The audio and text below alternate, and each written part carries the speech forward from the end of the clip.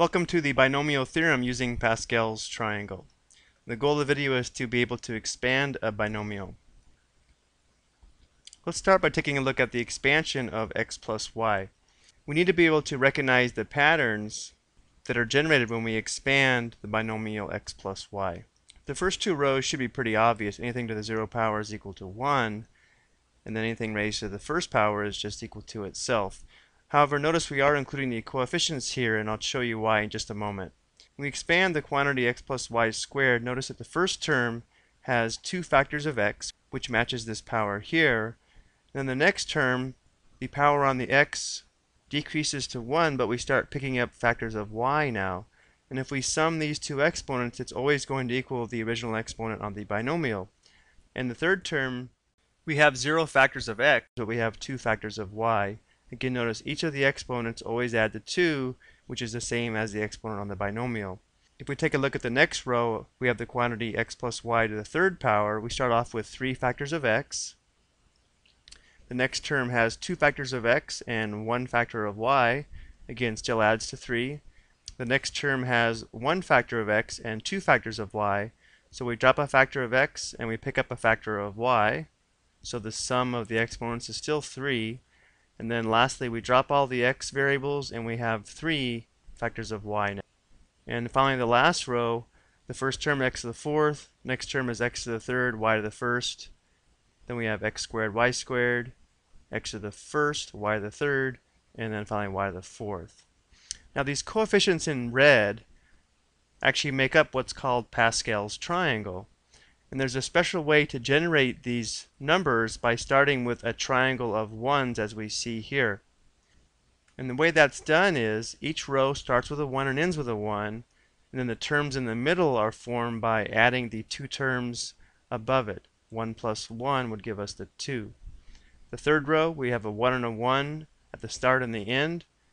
1 plus 2 gives us 3, 2 plus 1 gives us 3, and there's the 1.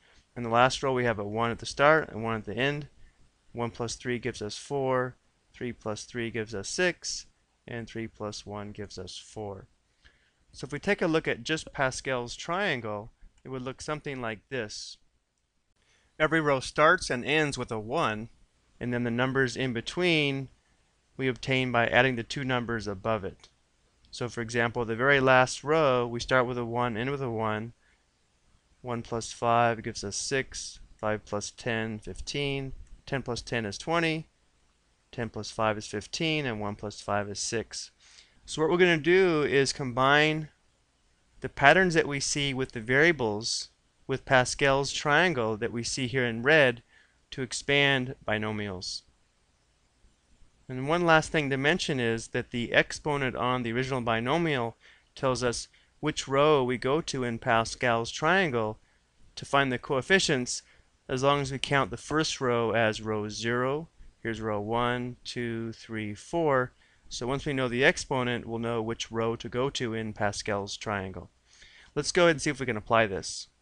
If we have the quantity x plus 3 raised to the fourth power, let's first deal with the pattern of the exponents in each term, and then we'll deal with the missing coefficients. So the first term in this expansion will have 4 factors of x and 0 factors of 3.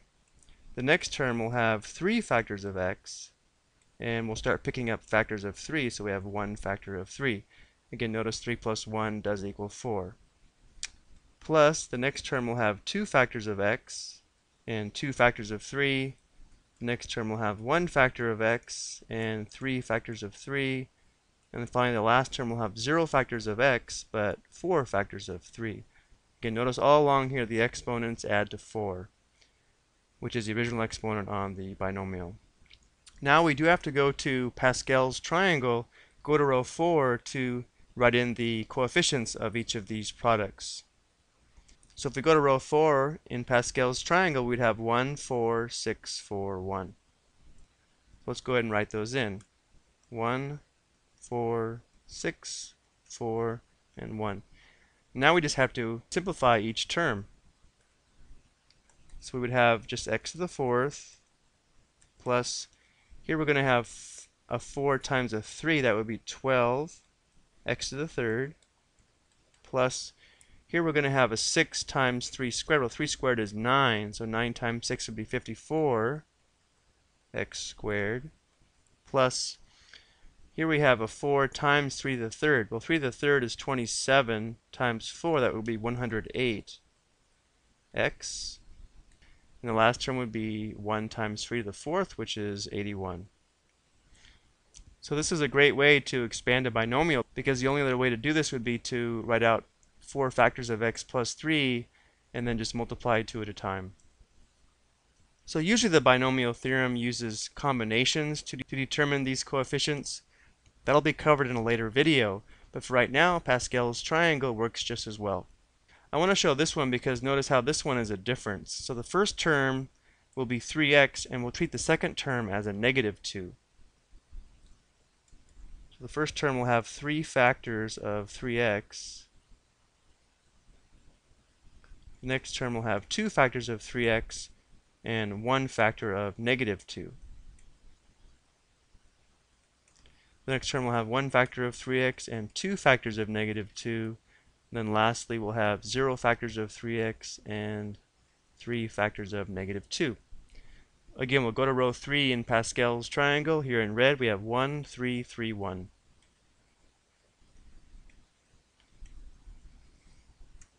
And now we simplify each term. First term will be 3x cubed. That's going to be 27x to the third power. The next term, for the next term we're going to have 3, and this will be a 3 squared, so we'll have 3 times 9 is 27 times negative 2, that's going to be negative 54. So we'll write minus 54, and then we have two factors of x as well. The next term we'll have 3 times 3, that's 9. 9 times negative 2 squared, that's 4. 9 times 4 would be positive 36, and then a factor of x. And then lastly, we have 1 times negative 2 to the third power, that's negative 8, so we'll write down minus 8. Okay, and that's going to pretty much do it for this video. We will take a look at the binomial theorem again after we cover combinations. I hope you found this helpful.